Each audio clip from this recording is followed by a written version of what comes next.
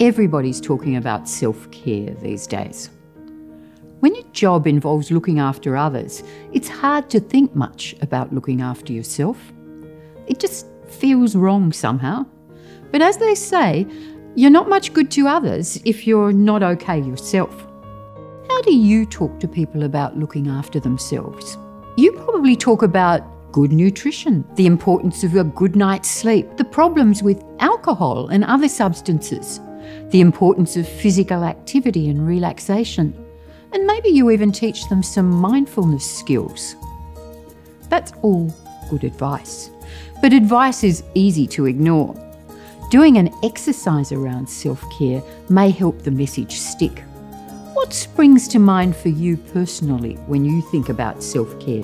Whatever it is, it's different for everyone.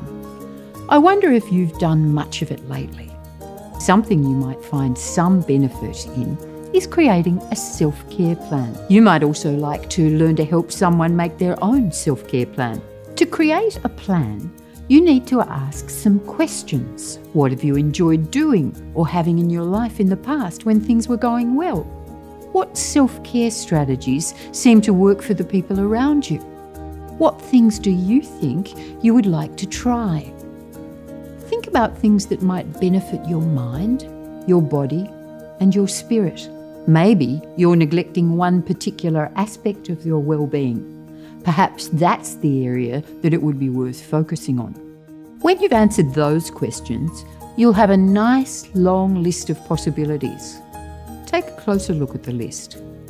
Cross off the strategies that you know won't work for you or are not possible at the moment. From what remains, choose the strategy that looks the most possible, the most appealing, or that you feel you need the most.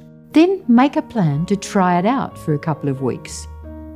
After two weeks, decide whether it's been a good thing or not.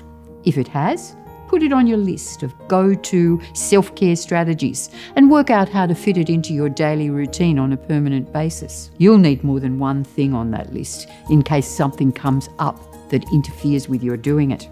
After a little while, you'll have a short list of self care strategies that you can activate any time you need them, in any circumstance. Developing a self care plan takes a little time and effort, but it's worth doing. These strategies are an important part of that plan. Stress tends to make all of us forget how to look after ourselves just when we need it most, and self care is a necessity for everyone.